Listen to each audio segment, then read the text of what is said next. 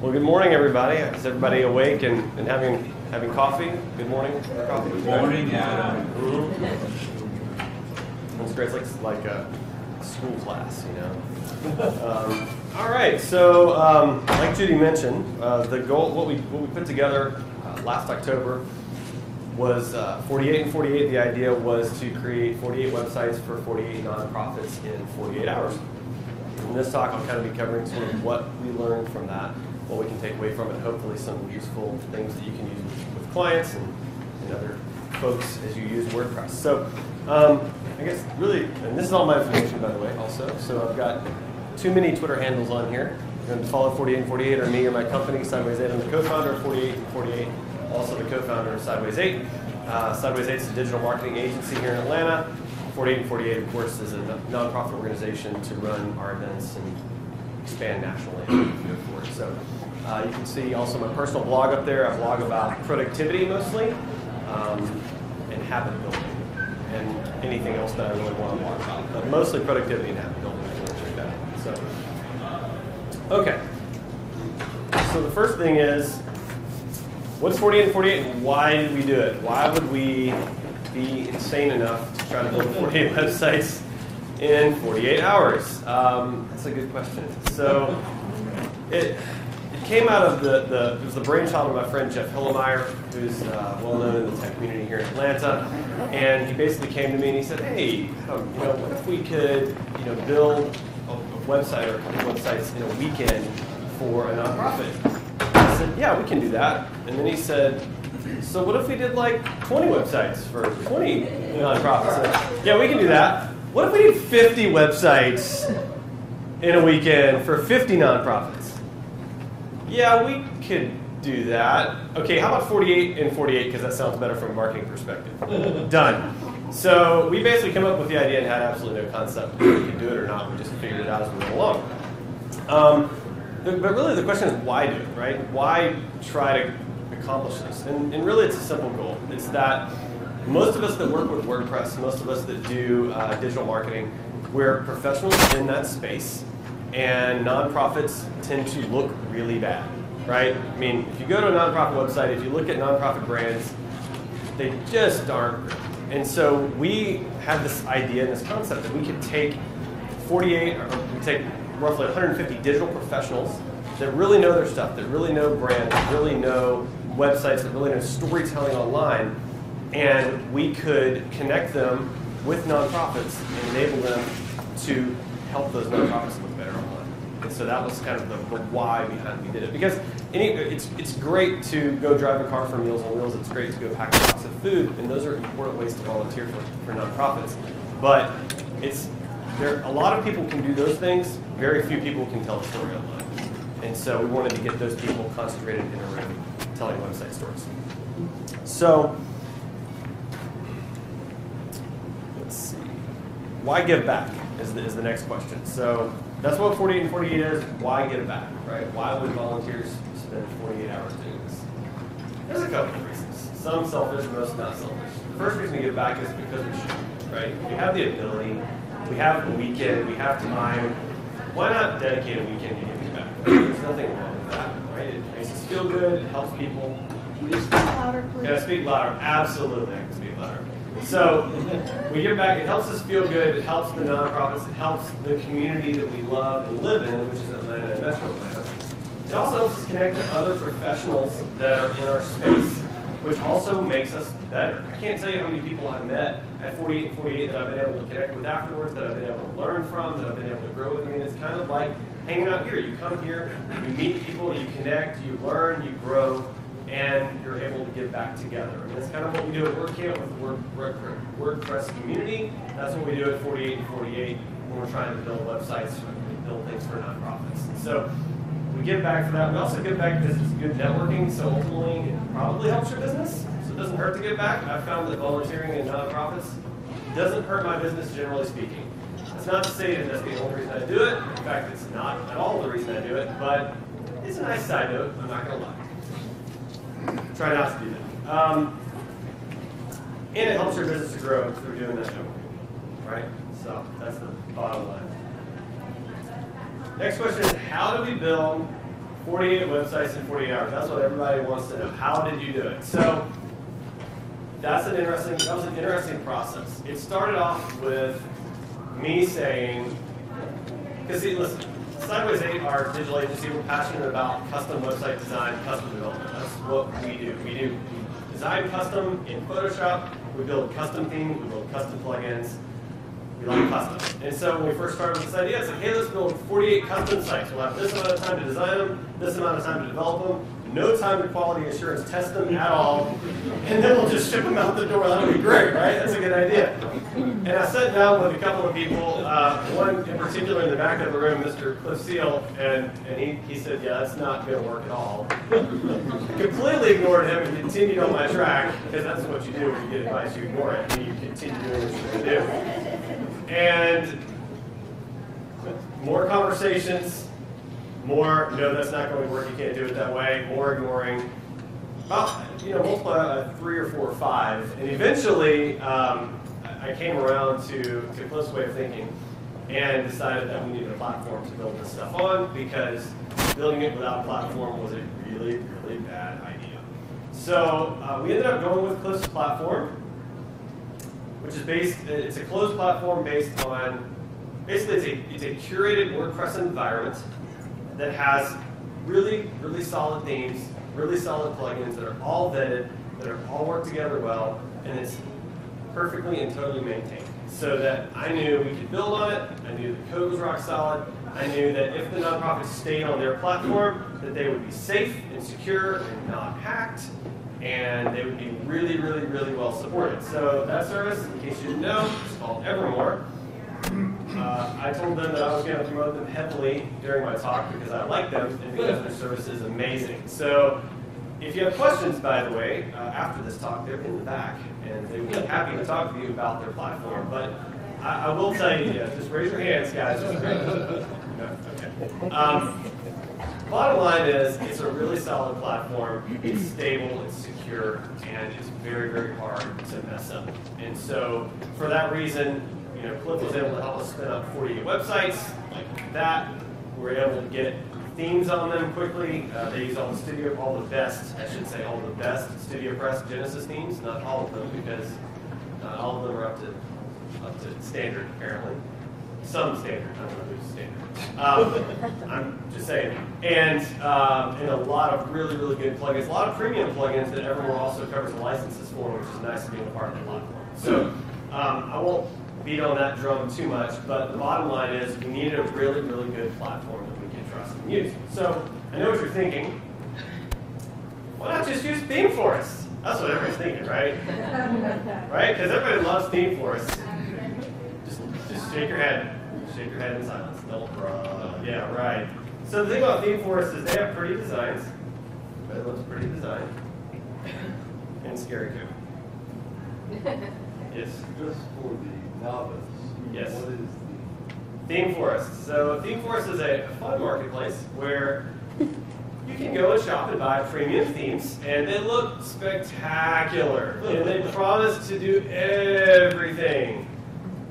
And the code is scary. And uh, so, so for those of you that, that are not super into WordPress, just be aware of that and, and really vet themes before you go after them. I mean, honestly, theme, not, and I'm, I'm kind of dogging on ThemeForest because it's kind of the most common example that we all sort of struggle with, but there's a whole lot of themes out there that are premium themes that are just a little scary. So read your reviews, find out who the theme authors are. Are they any good? Do they, have they more than one theme? Is the theme being used more than 20 times? I mean, like, it's like that with plugins too. Like I was looking at plugins last week, and I was trying to solve like a very specific problem with plugins. And I'm looking through the repo, and I'm like, oh, oh, there's a plugin that'll do it. Oh, good, it has 20 installs. Next. That's terrifying. Like, if there's a plugin with 20 installs, just keep running. Run as fast as you can. Like, you don't want to be an early adopter when it comes to this stuff. I don't think. I, I don't know. That's just me. It's scary. So, um, so yeah, vet your themes, vet your plugins, because otherwise, and, and the other thing about a closed system uh, with Evermore, the nice thing about it is a, it was a closed system, right? So we needed a system where everybody could just go, oh, I have this idea. Let me just go find this plugin, and let me go to this, and then they, they add like 45 different plugins that don't work well together, and they're all enqueuing jQuery, which is lots of fun. And you know, and then they just break. It's just it's terror, sheer terror. So we needed an environment where they could not do that. We had to lock people down. Um, I don't like locking people down necessarily, but that's the only way to ensure quality is to lock people down. And that's what we had to do in this particular situation. So, um, a couple of other things on themes. So, so while we're kind of on that subject, um, I'm a big fan of Genesis themes. I think they're really good. I think they're well coded. I think they're well maintained and well supported. There's a lot of documentation around them. Um, I'm also a big fan of uh, elegant themes. So uh, my business partner in the back did a whole talk on Divi yesterday. We use Divi a lot uh, in our company to build lots of really nice websites for, for kind of our, our clients that don't have huge budgets. So themes are great, but just picking the right ones are important. So vet those. Talk to people here. There's a whole ton of themes out there that are really solid and great that I know nothing about. So just because it's not super popular doesn't mean that it's not good. It just means that you have to really vet it well, right? So, you okay? Okay. All right, just making. I didn't know if he was like sneaking up to like reach in my back pocket and turn on my mic or something. That would be really awkward. Uh, another thing to consider are plugins. So plugins that we use that were particularly helpful during the process. Uh, we're a big fan of Gravity Forms. So Gravity Forms is a really good Forms plugin. Ninja Forms is also a good Forms plugin. We kind of always use Gravity Forms. It works really well for us. And it does a whole lot more than just build forms. You can use it to, I mean, you can use it to create multi-site instances, users, and all kinds of other crazy stuff, which is really great. Uh, another good plugin, Modern Tribe's Advanced Calendar Pro. So you need a calendar, you need some advanced calendar functionality. Advanced Calendar Pro is really great for nonprofits. Also, Design Palette Pro. Um, I will say this with a caveat. So Design Palette Pro gives you a lot of really cool ability to customize and make things look good. And, and for us in this room, that's really great because we can make things look fantastic. The flip side of that is that if your client has the same access, they can make things look fantastic. So you need to be careful about that because when they have access to that sort of stuff, things get really ugly really fast. So just be be aware. Oh look, I lost my PowerPoint again. That's fun. Okay. Um, we'll get to takeaways in a minute. Also, Yoast SEO plugin, and pretty much all the Yoast plugins for SEO are, good. Yeah, and for analytics, um, I like these plugins a lot. They work well. He's got a local SEO plugin. He's got a video SEO plugin. I think it's premium. There's a lot of good options for that. Yoast SEO is uh, Y-O-A-S-T, I believe. Uh, Yoast SEO plugin is really good. Also, Sidekick, which is kind of like a kind of like a digital guide. You can sort of say, hey, I want to do this in WordPress, and it'll say, okay, click here, and then click here, and then click here. It's, it's great, especially for like when you're turning over the site to a novice that really doesn't know anything about WordPress. They can look it up in Sidekick, and Sidekick can guide them step by step through the process of how to do what it is they want to do, which is really nice. Uh, and another one that's great is WP 101, which are training videos that will also walk them through how to do things. I'm a big fan of handing users tools and saying, here's a whole slew of videos on how to do everything you want to do with WordPress. Go learn, have fun. Yes. Uh, WP 101. So otherwise, um, they will call you over and over and over again, and they will email. It, it just it, WP 101 fixes that for you. So I would I would strongly recommend that. So that was it. Good themes, good plugins, closed environment was huge. So now for takeaways, and there were quite a few takeaways. Um, we kind of have the same pain points with the nonprofits that at Sideways 8 we tend to have with our clients, which is not too surprising because people are people. Websites are websites and expectations are always outrageous. So, uh, so the first thing that we learned that, that I wanted to mention is the content is always a monster. It's just the worst part of every project. Like, always is, it always will be. There's no way around it. I had one client one time that waited for two and a half years to give us content for their website. I'm not going to tell you what type of company they were. It does make it funnier, but it's sort of, you can figure out who it was, so I won't do that. But all the same, two and a half years is the longest I've waited, and I wish I could say that only happened once, but it happened at least twice. So There you go. Content's always a monster. So what we learned is basically it needs to be all done upfront in WordPress. And so for our clients at Sideways 8, we've done that by creating a, basically a blank WordPress multi-site install. And it's running like 2010 or 2015 or whatever the most recent one is. And so obviously not 2010 because I clearly don't know how to count. And um, essentially, we build out all the pages very quickly for the client, just blank pages, and we say, hey, client, here's the username, here's the password, here are all the blank pages, here's how you edit those pages. Go put in your content and have fun. It'll be glorious. And they go in and they put in their content, and it works out pretty well. We give them feedback along the way. And then when we're ready to build the site, we just do a little export, and a little import, and it's all done. It's great. We did not do that for 48 and 48 for reasons that I still do not understand. I think I was really busy doing other stuff and didn't think, hey, this thing that works really well at Sideways 8, we should do here at 48 and 48. I don't know, just put two and two together. So we didn't do that, and content was a big issue because of that. Uh, we limited content to 10 pages, which was a bad idea because then clients, they need more than 10 pages, so they need like 50 pages. So now they're calling Evermore and saying, hey, how do we add more pages? And help us add pages all that kind of stuff, which was unnecessary if we could just have them loaded all to begin with. So uh, the big thing about content, the big takeaway is have it all done up front and make sure the client can build all the content on their own until their heart's content, and then lock them in and tell them they can't touch it again until after the project is finished, which is what we'll be doing this year, and it will be beautiful. Any questions about the content capture side of it? Because it's kind of a, I'll take mid mid talk questions. you know? It's a great idea. It's fun. It works out really well. Well, when they're adding content, are they adding, after the site is launched, they're adding it to the, you know? No, they add it all in a blank WordPress install before they ever even see a design site. And then we take all that, Right. put it into the dev site, build the site, and pretty it up, and here you go, all done. It's- That's assuming they, they know how to work the WordPress. I'll te- I teach them that part. That, that, I've got training videos specifically for that one thing. And that's easy to do. Just create a quick screen capture, it's ten minutes long maybe, and good to go. So you say, here, watch this screen capture, here's the login, go put your content in. That, that's a great idea because it gives them a little confidence beforehand. Well, they're gonna have to learn WordPress anyway, might as well do it on the front end rather than the back end. The images are there too, right? They're Mhm. uploading. Images and everything. If you don't do that, you've got all this, like, they can't find the Dropbox file, they can't, the Exactly. pictures are somewhere else. The other nice thing is you can leave comments on, on the pages, and then you can dialogue about the page and the comments and how it's gonna work and all that sort of stuff. You have a nice written record of everything, so. Uh, no, I stole that idea from, I, I wanna say it was from GreenMellen. I'm gonna give that, give credit to Mickey Mellen on that one, I'm pretty sure. So, you can thank Mickey Mellen later. He's not in here, but he's, uh, yes. You said you do a blank install, is it done on a subdomain, or how do you do that? We have a, uh, we have a, a, a dedicated domain for it, uh, Okay, for our so- content clients, yeah. Okay, thank you. Yeah. So, all right, that's content. Oh, lost my stick again.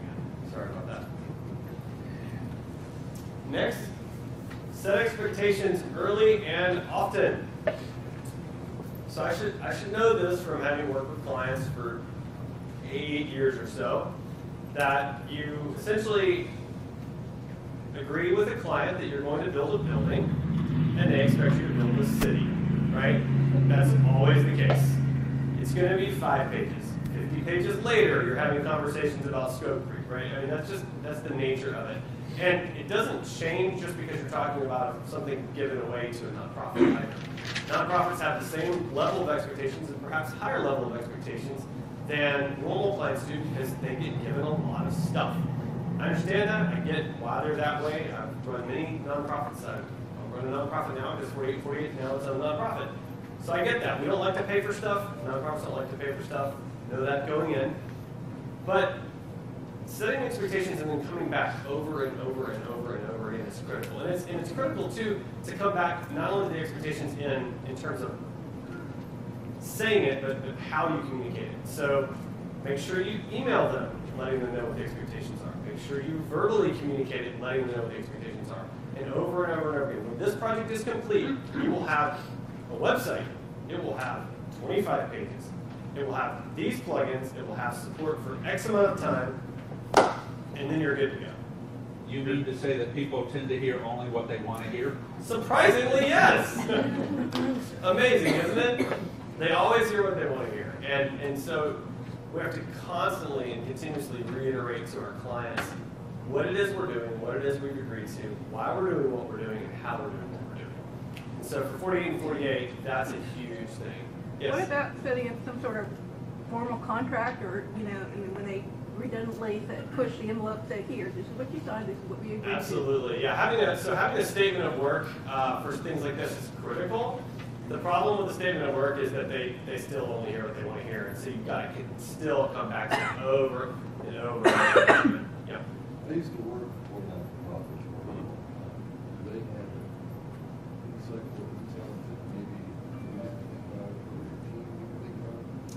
non-profit. In other words, in other words, you're talking about usually have to have all the rotation, Right. but they were give and take, there were sometimes nonprofits. Right. Maybe this is a good idea. Well, there is. Realize that, so, for the passion project. Right. So the question is, is there give and take with the nonprofits? And my answer for both for 48 48 and as an agency owner is yes, but only up front.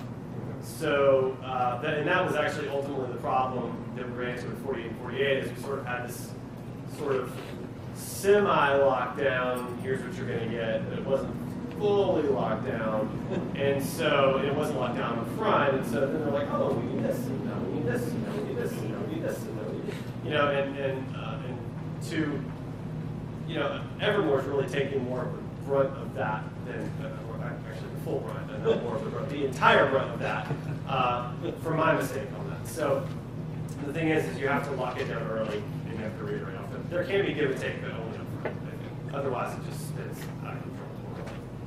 What, one thing I found was they wanted, there needed so many things, like they need memberships, they need Mhm. um, e-commerce, they, you know, they need more than, than the usual small business website. Mhm. So, and Evermore had all of that All available. built in. Boom, plug in, boom, plug in, boom.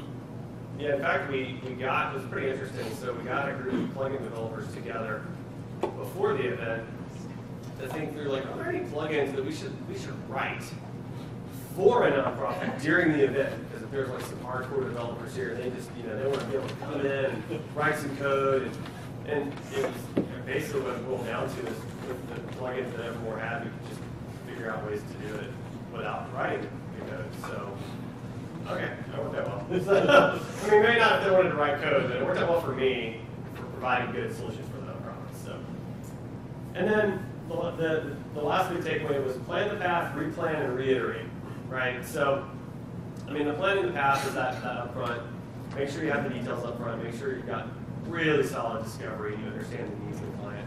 That's what we definitely need to do. It's hard to do that at scale for 48 nonprofits, but it's absolutely essential because there has to be a solid plan for what their website needs are. It, we just can't fly by the seat of our pants. I mean, it's like Judy said, some of them need accountants, some of them need memberships, some of them need private pages or, or some kind of super simplified membership. Some of them need donations, but they need donations to five different kinds of gateways, not just one.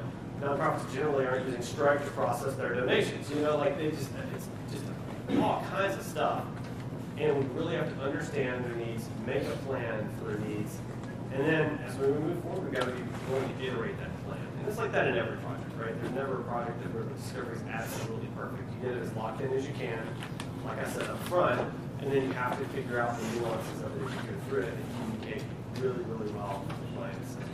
So moving forward, the way we do that with 48 and 48 is we'll be having solid project managers that are working with the nonprofits very early in the process. We start the process much earlier than we did last time and be sure that there's a solid time for discovery, for uh, exploration, explanation, and really locking in everything that they need so that at the end of the day we can say to each of the 48 nonprofits, okay, you need a website, you need to have 25 pages, it's got to have a calendar, it's got to have memberships, it's got to have payments given to this gateway for this purpose, it's got to have a call to action for this, these types of donations, you know, and just a really good solid list of things that they need so that when it comes time to build the sites in 48 hours, we know what we need to do. Right? So that's the that's the big the big thing there.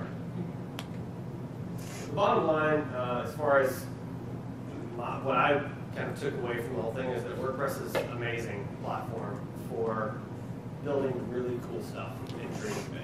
I mean, 10 years ago, who would have thought you could build 48 websites in 48 hours?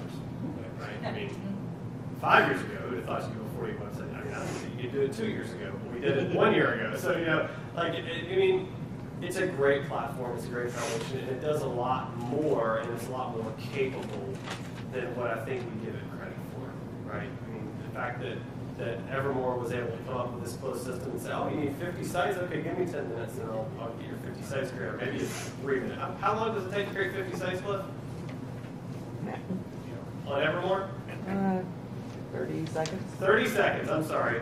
Give Cliff 30 seconds and he can have 50 sites spun up for you. I mean, they're, they're will all be the same look and feel. We've got to build them out and make them pretty, but nonetheless, 50 sites. So in 30 seconds. I mean, that's, that's the power of WordPress. It's fantastic. So. And any questions? I have no idea how I'm doing on time. Oh, look, 30 minutes, right on the dot. Yes. How did you select your nonprofits? Great question. So, nonprofits sign up on our website and gave a pretty detailed amount of information. There were just a handful of criteria that essentially filtered out nonprofits. So, ideally, this was not true for all of them. Ideally, we wanted them to have one full-time employee. That was for the purpose of making sure they were nonprofits that were moving the ball forward. For nonprofit, when they don't have a full-time employee, sometimes it's kind of a, a part-time sort of hobby. So we wanted to make sure to eliminate those. We did do several websites for nonprofits that did not have a full-time employee, but that was sort of one of the criteria. Um, secondly, we asked that they had committed some funds for after the event for getting live, support, any of those types of things. Thirdly, uh, they could not be religious or political in nature. So uh, a soup kitchen based out of a church was, was fine uh, because they're serving like food, but we weren't going to do like church, synagogue, mosque websites, for example, because that would be super awkward for somebody. Um, and then political, same thing. You know, not going to have somebody on the website that for a politician they don't agree with. That's super awkward. So we won't that. Um, so after that, they met those criteria, they submitted everything. We had a team that made sure they were 501c3, actual nonprofits, and kind of vet them a little further. And then that team made selections, basically just looking for the most diverse group of nonprofits that serve the metro Atlanta area that we can find. So they did have to serve the metro Atlanta area. They did not have to be headquartered necessarily in, in metro Atlanta, but had to serve metro. And, uh, and that team came up with a list of 48. We did have a couple that dropped last minute because they went through a pretty rigorous process of getting us content, filling out all kinds of really in-depth questionnaires. So we had each nonprofit fill out an in-depth um, branding and or branding questionnaire, so we really understood who they were. Where we basically, it was glorious. We basically asked them the same question over and over again, which is what branding is. And you said, "Hey, what do you do? Give me a page." And then they give you a page, and you say, "Hey, what do you do? Give me a half a page." They give you half a page, and "Hey, what do you do? Give me three sentences, two sentences, one sentence, five words." And by the time they get down to five words, you actually know what they do. It's glorious. So uh, it's a little more in depth than that. We had them do that. We had them do a website design questionnaire as well, and then we had them do all kinds of content like work also. So it's like eight to fifteen hours worth of work on their part. So some of the nonprofits just couldn't handle that, and they went out there What about the. Yes. Um, you're moving to rankings this year, will that replace the questionnaire? No, uh, we're still going to have to have the questionnaire up front to do to do really a full discovery and a full brand analysis of each nonprofit. Um, they will be so there were three steps. One step was uh, brand analysis and discovery. Second step was website analysis and discovery. And third step was hey, put all your content in this way. We're just changing the third step for that. Yeah. Uh, I noticed on there, one of the requirements is that you have a full-time employee. Mhm. Uh, is it- is it gonna be a twenty-four executive right there, or- That was the idea, but it's flexible. So that yeah, that's a, it's it's not a hard and fast rule. It's a desire.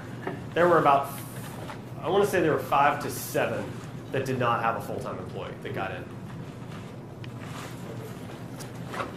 Yes.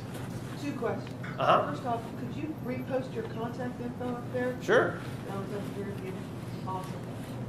And second of all, was it just the two of you doing all of this, or was it like, did you have Oh forty-eight no. developers helping? I'm sorry. I, I, I should have been more clear about that. We had a we had a huge we had a huge team of people. So I tell you what, if you were there at 48 48, raise your hand.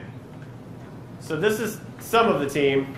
Um, there were a lot of people there. I, I should have made that super clear. I meant to like really emphasize that. So um, we put out the call to developers, designers, WordPress people. Originally, we were thinking we needed a lot of developers until I finally listened to Cliff, and then I realized we needed WordPress people and digital marketers more so. So we moved our thinking and started shifting in that direction. I think we had about 150 volunteers over the course of the weekend um, from all over the place. I mean, we had a bunch of volunteers from uh, large agencies like Moxie. We had uh, a bunch of volunteers that just you know work for themselves. We had one volunteer who was hilarious, or not hilarious, it was great. So he lived across the street. We had the event at Ponce City Market in General Assembly, which is a fantastic space. And this guy lived across the street. It was Saturday night. He was watching the news, and the news did like a 10 second, 15 second blurb. Ponce City Market tonight, building 48 websites for 48 nonprofits in 48 hours.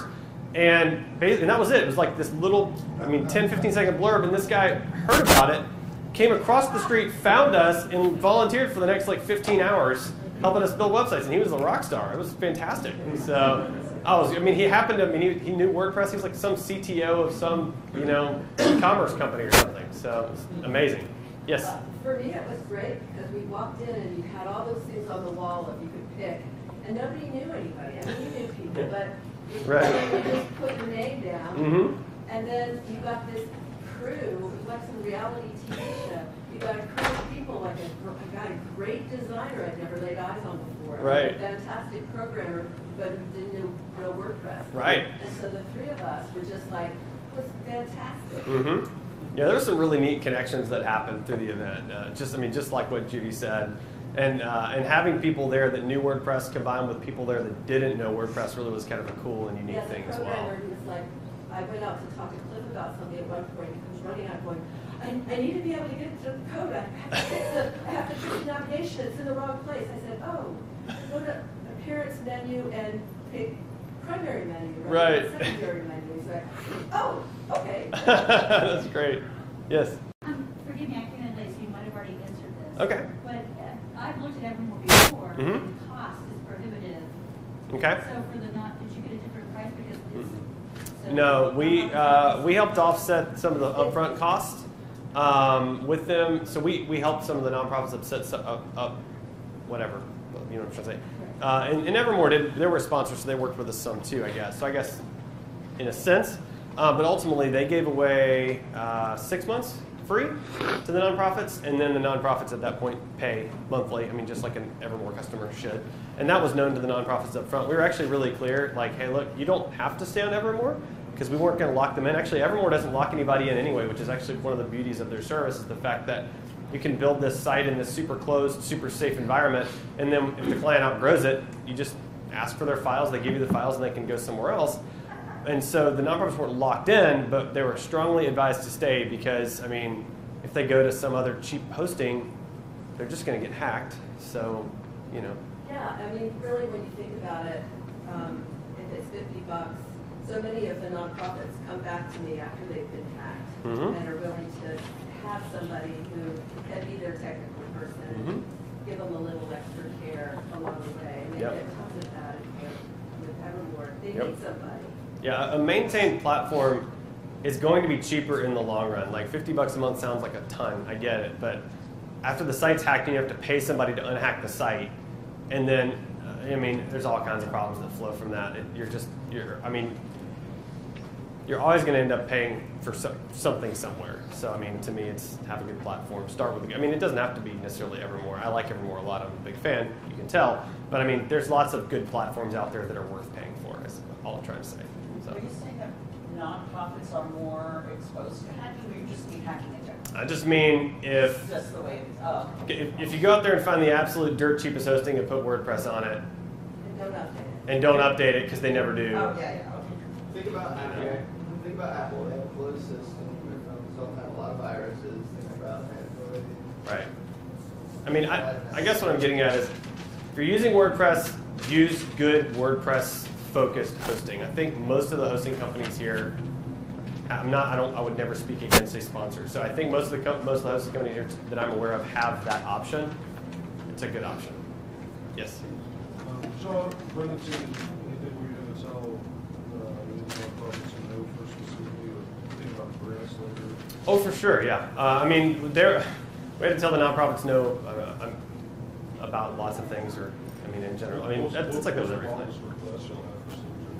Oh, yeah, you might have to ask April that. I, I don't, because I think they had a lot of requests after the event. So April can probably tell you some, some fun stories afterwards better than I could. Uh, I mean, we facilitated the event and we sort of handed it off to Evermore, knowing that they have amazing support. And so the clients have been, or the, the nonprofits, I should say, have been well taken care of. But I think that means they get more of the funny and horror stories than I do. So, yes. Uh, do you have an example of before and after how Why didn't I think about doing that? Good grief! I, I don't know. I mean, it would take me a, I yeah, drove too the long. market. Yeah, I mean, I've got uh, there are there are several really good after sites, but uh, I don't have them before. Yeah, I, I, I I'll have to. I'll try to. Yeah, I'll, well, I've got I've got screenshots. I'll try to post something on Twitter later today, and uh, and I'll tag WCATL and put a picture up. We were there. Yeah, they they were awful, basically. Yeah. Yes. Did you migrate any of their content, or did you make them re-put it in there? made them re-put it in there. Uh, yeah, hmm because it's it's my experience from Sideways 8 and from 48 and 48 that anytime you say to a client like, "Hey, you have this whole website, it's got 20 pages. Are you, are you going to use that content for your new site?" They go, "Oh yeah, we're going to use some of it, but then we're going to write new stuff." No, they're not. They're not going to write. They just want to write new stuff, but they're not going to. They're just going to pretend they're going to and think about it, and then they're going to get writer's block, and you know, then they're not going to do it. So, uh, it, yeah, everybody always says they want to write new content. They never. They never actually do it. They just say they want to. Yes.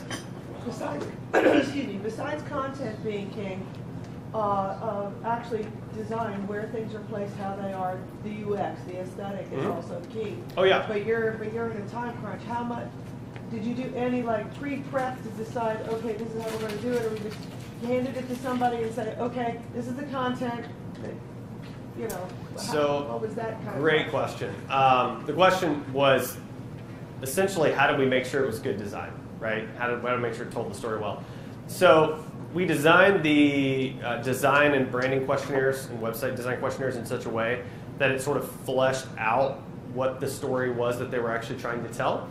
So the first step that each of our teams did, or was supposed to do anyway, was to go through those documents in great detail and then have a conversation with the nonprofit. So typically a 30 minute conversation with the nonprofit to ask clarifying questions and really understand what their needs were, and then come up with a strategy based on that and begin building the page. Now, then we had several people that were following up on that after the fact and saying and kind of looking at the sites and going, okay, this is pretty good, and we see how this is telling the story, but have you thought of this, and let's do this, and let's do this. And there were, I mean, a handful of sites that just needed some extra touch-up work um, So there was a towards the lot end. of groundwork before the, the clock started ticking. There was a lot of information gathering before the clock started ticking. The actual dissemination of that information and creating a strategy happened at 48 and 48 itself. Now, we'll probably do a little bit more of that pre-work this time around, but we'll see. Yeah. For the field work, this, uh, next time we're helping in the Stoss House or the boards. I don't know. I haven't thought about that. If you have some ideas, I'd love to hear them. Yeah, talk afterwards. It'd be great. Yes. Can you talk more about how you found and vetted sponsors and where their sponsorship been? Right. How do we find and vet sponsors? So one of the nice things about partnering with somebody that knows everybody in Metro Atlanta is that he went and got sponsors, and I didn't have to worry about it. Uh, so I mean, essentially, we we just called a lot of people that we knew well. Uh, I mean, around town, and asked for help. We got a lot of sponsors, a lot of in-kind donations. So that was a big part of it. So like Red Bull brought out their gaming center that nobody at the event used, which was I thought odd. Uh, I mean, it was like for, it's free video games. Take a break, play some video games, and nobody played. But like my eight-year-old, he was all about it when he came to visit. So that was cool. Um, you know, we, we got a lot of products sponsored. Moe's, uh, you know, uh, Jeff had a contact at Moe's. They catered this just this meal that was so enormous, like you wouldn't believe it. Like I, I think we took more than half of the meal and actually ended up donating it uh, to another nonprofit in, in the city that feeds a lot of people, and they were just so overwhelmed to have what was left from that meal. It was amazing. So um, I think Twitter did some cool stuff. They bought breakfast for all of our volunteers and gave us a, a, a tour around their facility. Um, I mean, so essentially, we just called and asked a whole lot of people, and it's such a. I mean, the interesting thing is you you can always get more sponsors for crazy ideas, right? So I mean, if you say like, "Hey, I want to do you know this thing," and it's sort of been done, and, and and it's a great cause, but it's been done, then sponsors are a little more reluctant, I think. But when you just say like, "Hey, I want to build 48 websites in a weekend," they're like, "Oh, we want to sponsor that for sure." I don't know. It's weird. Um, so we just asked a ton of people and, and got a lot of support, and we're continuing to get a lot of support uh, as we move into this year. So this year, moving forward, uh, just so everybody knows, we're going to do another 48 and 48 here in Atlanta in the fall. I believe it's going to be in October. Uh, you can sign up to get on our mailing list at 48in48.org. We'll make sure it's back up on the screen. We're also going to go to New York and uh, do an event there, and then moving into 2017 we're going to try to go into some more cities. So if anybody has any contacts in New York, I'd love to, to get to know them. We're looking for connections with sponsors, agencies, WordPress professionals uh, in, in New York City. And then obviously we're going to need a lot of help here as well. So we'd love to have anybody there. Yes? You vet the designers at all, or how did you find and vet designers? I would love to say that we did.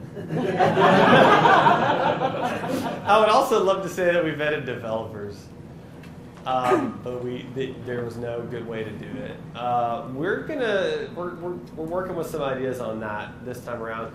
We had a team of people that were sort of saving the day in certain aspects. Uh, Brett was on that team, I believe. You, you wave your hand there, Brett. Um, yeah, Brett, uh, and I think Cliff saved quite a few things, and, and I know Judy saved quite a few, and I think there's probably a few more people in the room that did as well. Um, there, we just had to have a lot of follow up and a lot of interaction among different teams because it became pretty obvious as, it, as everything went forward which teams were struggling more than others. And we were obviously also reviewing the, the staging sites real time. So it was pretty obvious to me, and I was highlighting the ones that needed some additional assistance from a design perspective and the ones that did not. Um, now, the bigger problem really was vetting like some of the CSS that got written because there was there was some CSS that got written uh, during the event, and while it was good on desktop, it was not always good responsibly, and that caused trouble down the road. So we're going to be figuring out how to not run into that issue this time. So, uh, it was written in like some CSS editors, editor plugins, or things like that, and probably some inline too. I would say. Oh, yeah, go ahead. Do you have success metrics? How many people Evermore's retained since you started? You can ask April that. She would know better than I would. So Y'all, y'all measure, we did not do a good job of getting good analytics data beforehand because there, I just missed it completely. So I think we have some data on some improvement that's happened and some more interaction that's happened, but not the data that we should. So the next two events will make, be making sure we have really solid data up front and afterwards, and we'll make sure we have a more smooth process for getting the sites live much more quickly. So, good question. So really see uh, follow-up success stories from our properties. There have been several, and uh, we need to showcase them in like some videos and stuff. So that's a really good idea. Yes. What about using Bootstrap? I'm sorry. Bootstrap for your mobile, for the CSS. Right. Um, so I think, well, we use Genesis theme. I think Evermore primarily has Genesis themes, and it's built on. Is it built on Bootstrap? What, what are Genesis themes built on? Their own CSS. They're, oh, they're their own. Okay. So they're they are the themes themselves were mobile responsive to begin with. The problem was the CSS that was written to override the theme CSS was not always. Any other questions? Yep. Your um, giveaways were Ah, yeah. Well, so I, I didn't. I should mention the giveaways. So we gave away devices uh, of all kinds every three hours, every every four hours, every four hours, twenty four seven for the whole forty eight hours. So it was great because uh, it kept people engaged the whole time and, and kept at least some of them on site. So we had phone. We had Samsung phones, Samsung tablets, Chromebooks. I want to say something else. Uh, we had one thing that was like a hybrid smartphone point and shoot camera. It was like the weirdest thing ever. It was amazing. Um, it was really so. It was really fun. Every four hours, we'd like gather in. We everybody grab a, grab a raffle ticket and we raffle off these items, and, and it was it was a blast. So that was great. Yes. Was one any of the um, nonprofits on site while you were doing? No, they were not. Um, we were concerned if they were on site that we would never finish the project. I really wanted them to be on site because I wanted that level of collaboration, but I- it just it wouldn't happen, you know. So I, we, yeah, I, yeah, we, I, Few we're, of them show up on the last day. yeah. A few of them showed up unannounced, which is great. We had But- them on the phones. yeah, yeah, we did have them on the phone, so there was collaboration, right?